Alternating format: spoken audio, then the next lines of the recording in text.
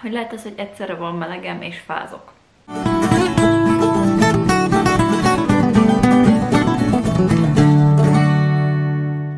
Sziasztok, Matilda vagyok, és a mai videó egy újabb barangolás Amerikában videó lesz, és a mai ország, ahova ellátogatunk, nem más lesz, mint Peru.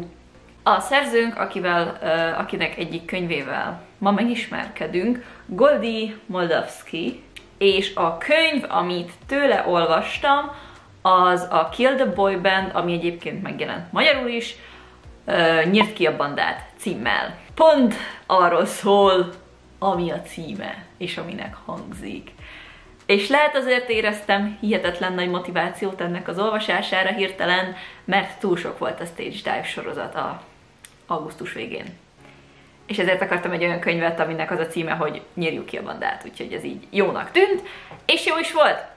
Ennek a könyvnek lényegében az alap története az, hogy van négy nagyon durván fangirl leányzónk, akik oda vannak ezért a bandáért, aminek az a neve, hogy Ruperts. Ami azért a banda neve, mert összeraktak egy tehetségkutatóban négy srácot, akinek mind a négyüknek Rupert a neve. Pont olyan csodálatos a koncepció, ami ennek hangzik egyébként.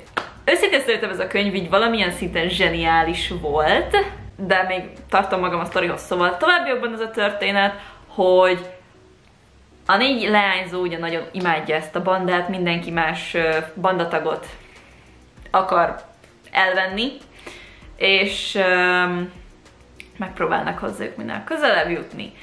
És egészen véletlenül sikerül nekik elrabolniuk az egyik bandatagot. Tényleg véletlenül egyébként. És utána nem tudják, hogy mit kezdjenek vele, és egyik esemény követi a másikat, és um, érdekes dolgok történnek ebben a könyvben. Mit nem mondjak? Miközben nagyon durva bemutatja, hogy milyen uh, durva dolog az, hogyha az ember nagyon fangörcsöt kap valami iránt. Mondjuk itt ugye fiúbanda iránt. Én ezt a könyvet alapvetően úgy fogtam föl már cím és leírás alapján is, hogy ez egy ilyen szatíra-szerűség, tehát hogy ez konkrétan ki akarja gúnyolni a fangirlség dolgot, vagy nem kigúnyolni, de hogy így ilyen vicces formában mutatni, hogy az a durván nyomott uh, imádat, uh, ami, amit egyes ember, tehát az a nagyon egészségtelen imádat, amit egyes emberek, egyes dolgok, tárgyak más emberek iránt tudnak érezni, az, az, ez hogy néz ki, és hogy mennyire egészségtelen. Ez a mondat nem biztos, hogy így most értelmes volt. Na mindegy, van egy narrátorunk és még három lányunk, és amúgy az az egészben a legnagyobb poén, hogy a narrátor neve sose derül ki. És én erre azután jöttem rá, hogy egy értékelésből megláttam, hogy nem tudjuk a nevét, én meg de tudjuk a nevét, aztán rájöttem, hogy nem tudjuk a nevét. Mert mindig más nevet mondott, amikor bemutatkozott, és a sajátját sose tudtuk meg. Amit így akkor jöttem rá, meg próbáltam emlékezni, hogy mi volt a neve, és nem, nem, nem emlékeztem. Ami azért durva, mert hogy amúgy meg mindig tudtam, hogy hamis nevet ad meg másoknak, szóval um, érdekes volt ezt így a könyv befejezése után realizálni. Scriptben hallgattam hangos könyvben egyébként, és szerintem ahhoz, hogy nekem ez a könyv ennyire tetszett, hozzájárult az, hogy zseniálisan olvasták fel. A, a stílus az, az ilyen tökéletesen megragadott tinlány felolvasói stílus volt, vagy nem is tudom, hogy fogalmazzam ezt meg.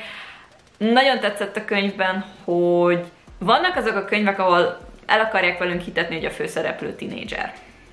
Viszont úgy gondolkodik, mint egy 80 éves öreg asszony mondjuk. Ez lehet túlzás volt, legyen 30 éves. Tehát, hogy van egy szintbeli különbség a megadott kor és a gondolkodás között, és ebben a könyvben egyébként kifejezetten tetszett, hogy ez annyira nem volt érzékelhető a stíluson, tehát, hogy ahogy meg volt írva, meg ilyen megjegyzések voltak a sztorin belül, leíráson belül így a mesélő szemszögéből, azok tökre hozták azt, hogy ezt egy 15 éves lány meséli el nekünk, úgyhogy nagyon tetszett ez a könyv. A vége miatt voltam egy iciri csalódott, mert um, igazából nem is tudom, hogy mire számítottam a végén, de hogy úgy még valami, nem tudom, valami random romantikus uh, cukormázas végződést még lehet ott uh, elbírtam volna viselni, nem tudom valamiért annak, hogy örültem volna, de hogy alapvetően nem volt rossz a vége se, tehát nem azt mondom, hogy rossz volt, nekem volt egy pici csalódásom, meg az igazságérzetemet kicsit bántotta a vége, de hogy amúgy meg nagyon-nagyon élveztem ezt a könyvet. Gyakorlatilag a négy lányzó egy hotelben rohangál össze-vissza, és van náluk egy bandatag. Nagyon elvetemült egyébként ez a könyv, tehát kell egy bizonyos hozzáállás szerintem, hogy az ember tudja élvezni, de ha megvan az a bizonyos hozzáállás, mint az, hogy én arra vágytam, hogy ebbe fiú bandatagok halljanak meg, az így durva volt. Szóval, mint az, hogy Szóval én, én például ennél a könyvnél kifejezetten azt vártam, hogy mikor jön az, hogy nyírt ki a bandát. Mikor jön ez a része konkrétan. Szóval nekem miatt tetszett. Én, én most így éreztem ezt a elegem van a fiúbandákból érzést a stage dive után, és így nagyon jó volt ez a könyv, kifejezetten jó volt, úgyhogy nagy piros pontot kap ez a könyv most tőlem. Szóval ezzel a könyvvel, a Nyírt ki a bandával Goldi Moldavskitól barangoltam el Peruba. Egyébként ezt a könyvet először magyarul akartam kihozni könyvtárból, de aztán fönn volt Scriptden, ami közelebb és elérhetőbb formátban volt hozzám, és nagyon így ránéztem, és mondom, jó, ez most, ez kell nekem.